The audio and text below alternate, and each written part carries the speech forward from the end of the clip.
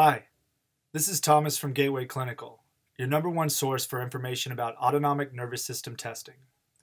If you are a doctor, practice manager, or patient, these videos will contain extremely useful information about this exciting and growing field of practice.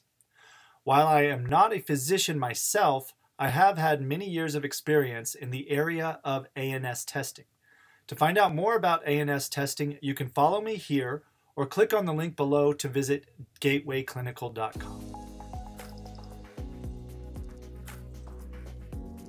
Hi, this is Thomas from Gateway Clinical, here kicking it with Buddha in my backyard.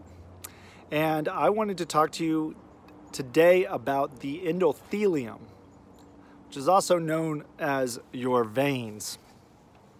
The endothelium is a thin membrane that lines the inside of the heart and blood vessels. Endothelial cells release substances that control vasoconstriction and vasodilation. Inflammation, innate or an inactive immune system, and coagulation. More recently, insulin resistance in the absence of diabetes or metabolic syndrome has been associated with endothelial dysfunction.